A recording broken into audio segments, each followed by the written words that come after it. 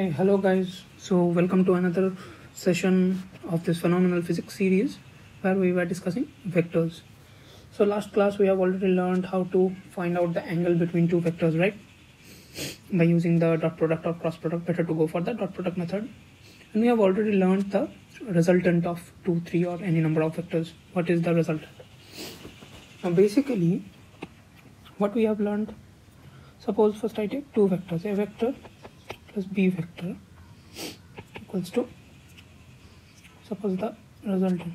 So r is the resultant vector right? Resultant of a vector and b vector.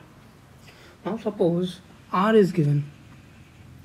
Suppose a vector is given in a reference frame or a coordinate system. So this is our coordinate system. Suppose in that vector is given. Right. So suppose this is our r vector. Now you are told to find out these two vectors on adding them we'll get r vector. This method is called resolution of vectors. Finding out any two vectors in which which will result in the r vector. Now that is has infinite number of possibilities. Correct now because this r vector i can add these two vectors by triangular law. I can add these two vectors by triangular law. I can add these two vectors by triangular law. So there are infinite number of ways of resolving a vector. Infinite ways of resolving a vector into two vectors. Okay. But now to restrict it. Suppose we are told that this is the resultant vector r right? And you have to find out such two components which are along this direction and this direction. So the directions are specified suppose how to specify the directions that is a cap and b cap. So you are told to resolve the resultant vector or r vector along these two directions. Then what to do? Then you have to do the simple thing. So along these two directions what will be the two vectors?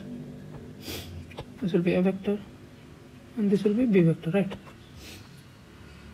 Because addition of a and b by triangular law gives you is a plus b right? Now what are these?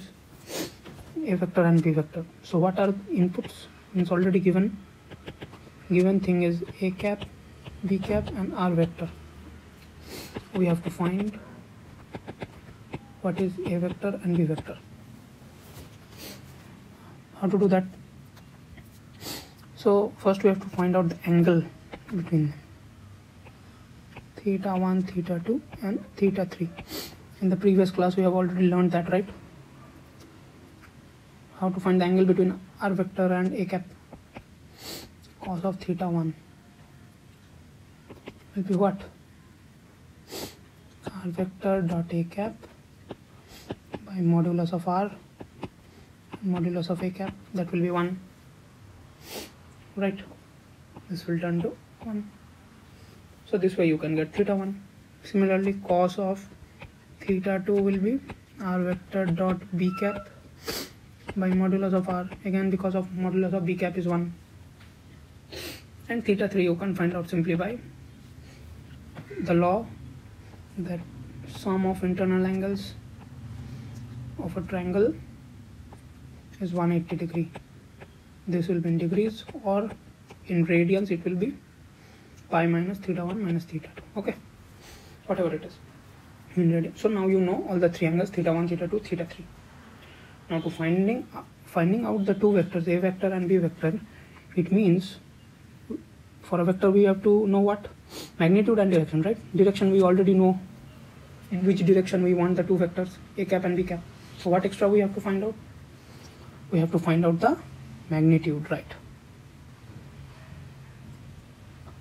So for this we'll use one more thing called of trigonometry let me know, name the three vertex of this triangle A, B and C. So we'll apply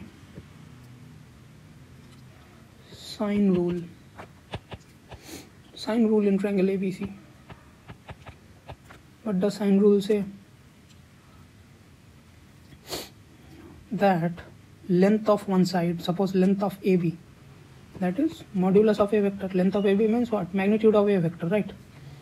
Divided by the sine of the opposite angle to that side, that is theta 2, will be equal to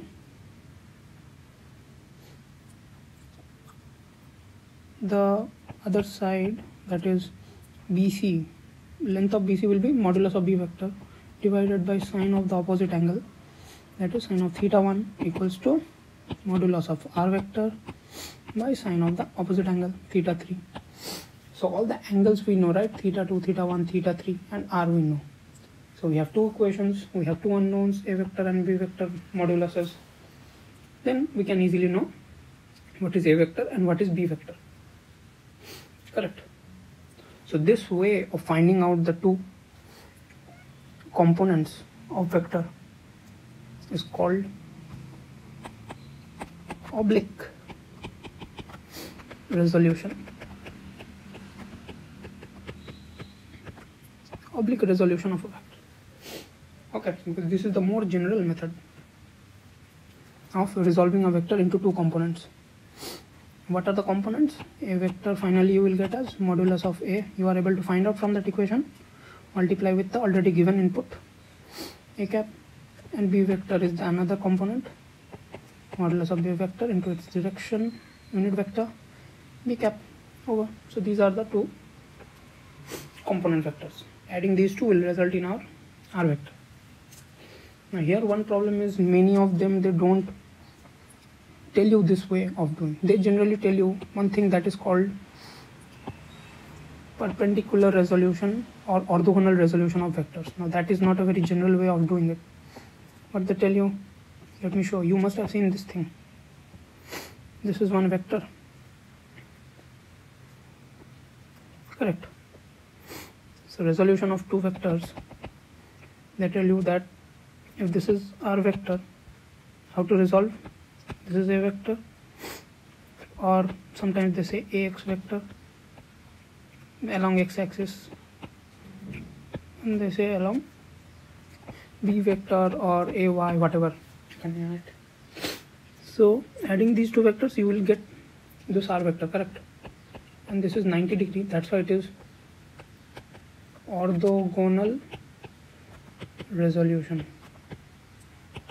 The problem with this is they directly tell you that this angle is theta. Again you can find out this theta. Then a vector they will tell you as modulus of a will be modulus of r cos of theta. Correct and then modulus of b vector will be modulus of r sine of theta. And they say this as resolution of the vector along two into two components but these are orthogonal this is orthogonal resolution that is resolving into two perpendicular components.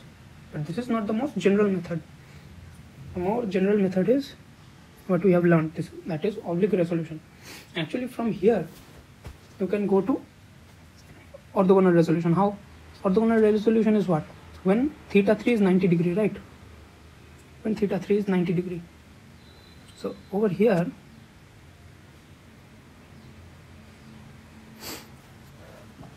when theta 3 is 90 degree you can easily get that is modulus of a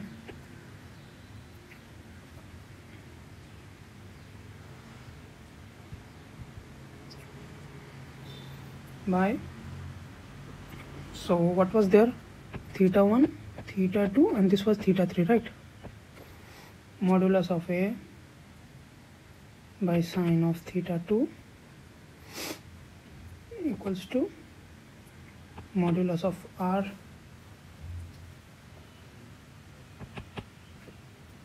theta 1 was specified as theta. Then only we wrote these two no hmm.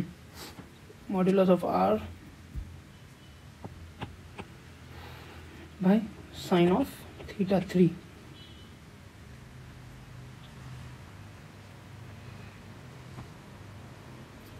right.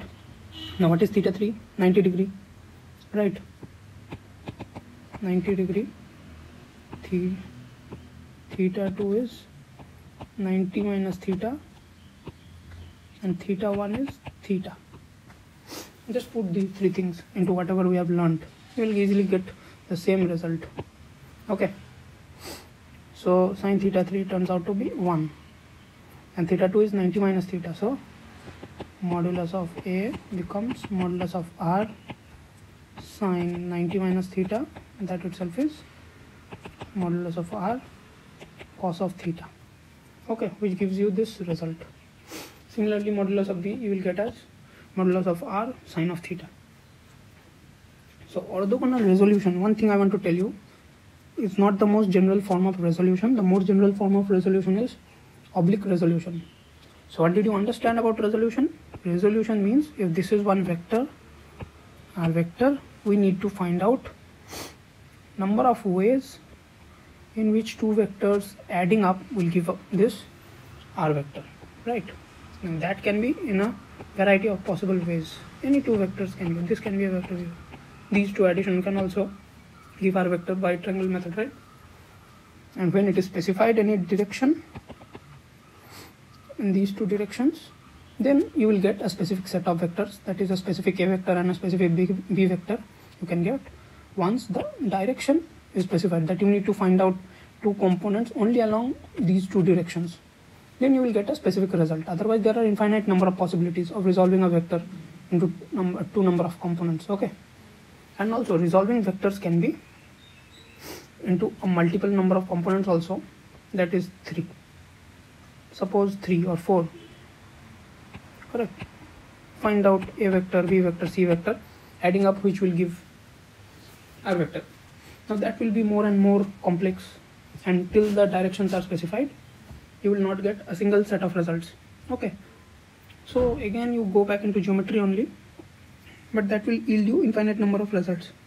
So better to stick uh, till this JEE level syllabus.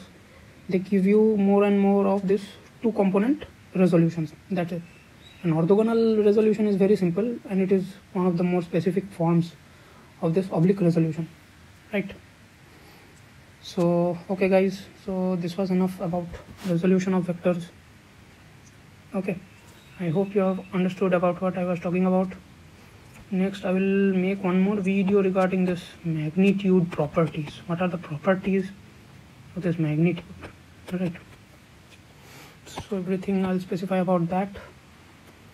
Okay and uh, practice more and more problems regarding this resolution okay? Practice. That is one thing you have to do more and more on your own. Okay? And if you like the content of this video please give the thumbs up and like and to share also. Correct. So that other people also get helped and you can help me in building this community of education. And uh, if you want to get notified every time any video is posted please subscribe to our channel. Okay? That is ESTI click the red button that is there. And beside it there is one bell icon you can place there then you will directly get notified every time I'm posting the video okay? A mail or something will come to you that I have posted the video and you can directly come and check it. Okay guys. So keep loving and enjoying physics. Till then bye bye